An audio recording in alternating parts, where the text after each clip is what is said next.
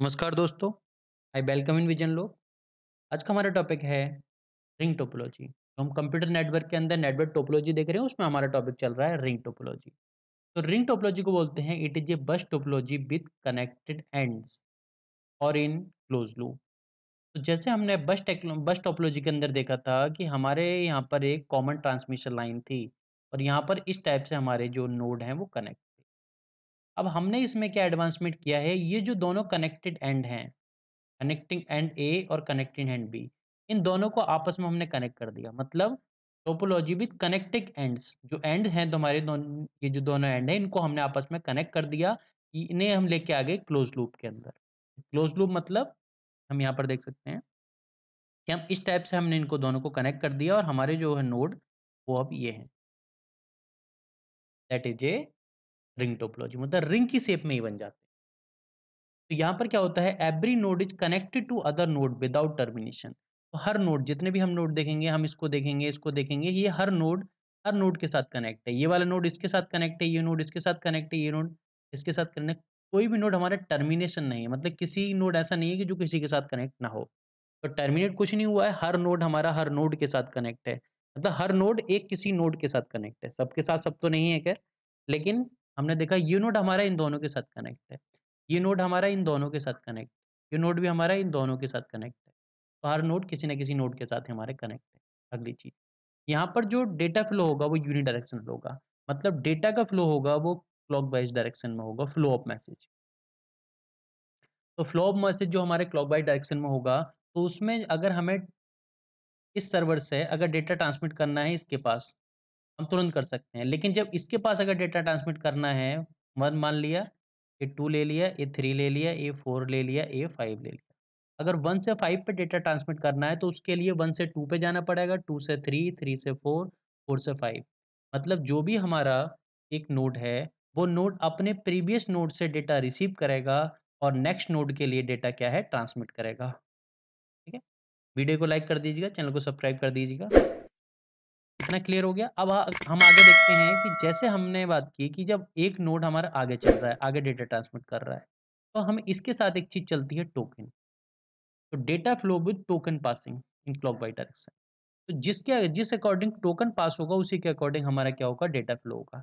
इसके पास टोकन है तो ये डेटा फ्लो किया, अब इस टोकन इसके पास आ गया, इसने डेटा ट्रांसमिट आगे किया, टोकन इसके पास आ गया, इसने डेटा आगे ट्रांसमिट किया, इसके पास आ गया, इसने टोकन डेटा आगे ट्रांसमिट किया। इसके अकॉर्डिंग इनका पूरा पाथ चलता है, इसी के अकॉर्डिंग ये डेटा ट्रांसमिट करते हैं। टोकन हमारा वर्क कर सक, वर्क करता है इसे हम मान सकते हैं कैरियर की तरह। टोकन लाइक ए कैरियर मतलब जो डेटा फ्लो को या डेटा को कैरी कर रहा है। तो उसके अकॉर्डिंग क्या करते हैं हम? जो टोकन है वो हमारा ट्रांसमिट होता है। अब अगली चीज़। यहाँ पर रिपीटर का हम यूज़ करते हैं। रिपीटर का यूज़ करते हैं, जो हमारी रिंग है और जो हमारे नोड है, उनको कनेक्ट करने के लिए हम यहाँ पर रिपीटर का भी यूज़ करते हैं। इसमें आगे देखते हैं हम। ये जो नेटवर्क हमारे हम यूज़ कर रहे हैं, that is a P to P network. मतलब यहाँ पर कोई भी जो नोड है तो कोई भी नोड उसे एक्स्ट्रा एक्सेस नहीं मिली हुई है, उसको क्या है? इक्वल प्रिविलेज है, जिस नोड के पास भी है। तो ये सारे नोड जितने भी हमारे पास यहाँ नोड हैं, इनको सबको इक्वल प्रिविलेज मिली हुई। और दूसरी चीज़ क्या है? ये पॉइंट टू पॉइंट नेटवर्क आता है, P to P. Point to point network है, क्योंकि हर एक एक ना पॉइंट पॉइंट से हमारा अटैच हो रखा है। अब यहाँ पर हम बात करते हैं number of port. Number of, पहले देखते हैं नंबर ऑफ़ नोड। तो नंबर ऑफ़ नोड। तो नंबर ऑफ़ नोड्स हमारे यहाँ पर कितने हैं? हमारे यहाँ पर पाँच नंबर ऑफ़ नोड है। ठीक है? अब इसी टाइप से हम देखेंगे number of cable.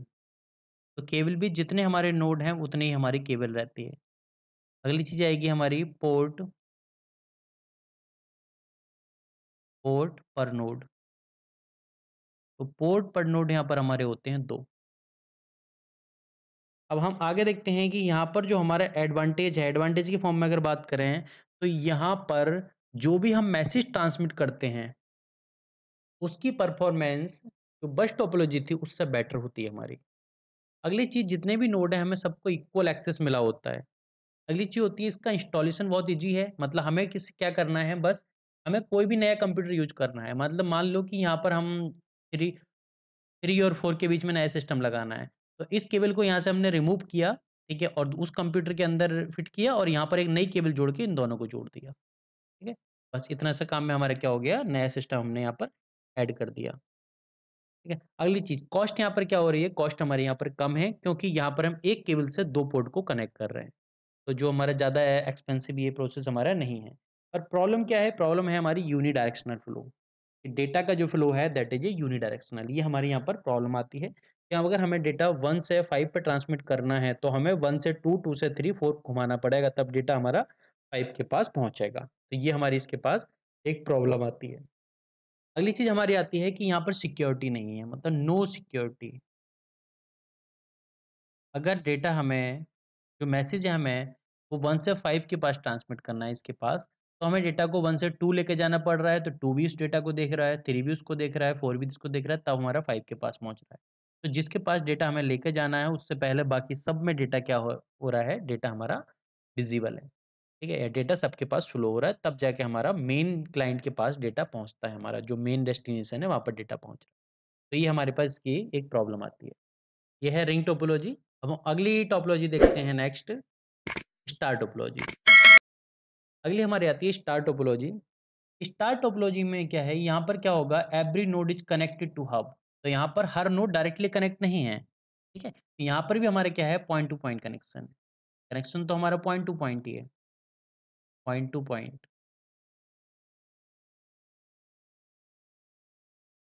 Point to point connection ही है। तो जो भी हमारे नोड हैं, ठीक है? तो वो एक सेंट्रल स्टेशन जिसे हम सर्वर बोलते हैं, उसके साथ डायरेक्टली कनेक्ट होते हैं। तो हर जो नोड हमारे हब के साथ कनेक्ट है, और इसी को हम बोलते हैं हब क्या है? हमारी एक सेंट्रलाइज सिस्टम और नेटवर्क है। हब क्या है? हमारे एक नेटवर्क का सेंट्रलाइज सिस्टम है। ठीक है? तो अब जो भी मैसेज ट्रांसमिट होगा, जो नोड जिसके साथ भी कम्युनिकेशन करे कम्युनिकेट करेगा हब को ज़रूर पता होगा। मतलब बिना हब के कुछ भी पॉसिबिलिटी नहीं है। ठीक है? अब यहाँ पर देखते हैं, हमारे यहाँ पर हमारे पास पोर्ट कितने होंगे? तो नंबर ऑफ़ पोर्ट की अगर बात करें तो वो पहले देखते हैं number of node. Number of node. तो नंबर ऑफ़ नोड हमारे यहाँ पर चार हैं। अगले देखते हैं नंबर ऑफ़ केबल। तो नंबर ऑफ़ केबल भी हमारे पास कितनी यहाँ पर? चार हैं। तो जितने हमारे पास नोड हैं, उतने ही हमारे पास केबल हैं। अब पोर्ट देखते हैं, पोर्ट कितने हमारे पास? तो टोटल पोर्ट। टोटल पोर्ट हमारे पास आते हैं अब चार तो इनके पोर्ट हो गए। ठीक है? अब ये किसके साथ कनेक्ट है? हब के साथ। तो हब में भी क्या हो गए? चार पोर्ट और होंगे तो हमारे टोटल पोर्ट हो गए। आठ पोर्ट हमारे यहाँ पर होते हैं। अगली प्रॉब्लम इसमें देखते हैं कि अगर हमारा हब खराब हो गया मतलब अगर हब के अंदर कोई प्रॉब्लम आ जाती है, फिर क्या होगा? तो सबसे बड़ी हमारी प्रॉब्लम ही जब आएगी, जब हमारा हब किसी ना किसी प्रॉब्लम में होगा, या हब के पास डेटा ट्रांसमिट नहीं होगा हब फेलियर होगा। तो इसको डिज़ाइन करना बहुत ईजी है। तो इसके एक एडवांटेज में आता है कि इसको डिज़ाइन करना ईजी है, सेंट्रलाइजेशन सिस्टम है। लेकिन प्रॉब्लम हमारी आती है कि सिंगल पॉइंट फेलियर, अगर हमारा यहाँ पर फेलियर हो गया, हब फेलियर हो गया तो हमारा पूरा जो नेटवर्क है वो बंद हो जाएगा। लेकिन अगर हब के अलावा मान लो कि ये सिस्टम हमारा खराब हो गया तो इससे डेटा हमें इस पर ट्रांसमिट करना इजीली कर सकते हैं, कोई प्रॉब्लम नहीं आएगी। लेकिन बस हब खराब ना हो। ठीक है जो हब होगा वही यहाँ पर सेंट्रलाइज सिस्टम है अगली चीज़ ये है लेस कॉस्टली है मतलब ज़्यादा कॉस्ट नहीं पड़ रही क्योंकि हमें डायरेक्टली हब हब का खर्चा मान लो एक तरह से अगली चीज़, ये जो यूज़ करेंगे हम स्मॉल नेटवर्क के लिए। स्मॉल नेटवर्क के लिए हम इसका यूज़ कर सकते हैं। अब मान लो कि हमने यहाँ पर एक सौ सिस्टम लगा दिए। अब हब जो है, हब सौ के साथ कनेक्ट हो सकता है, हब के अंदर इतने पोर्ट अवेलेबल हैं या नहीं है, ये भी चीज़ होगी।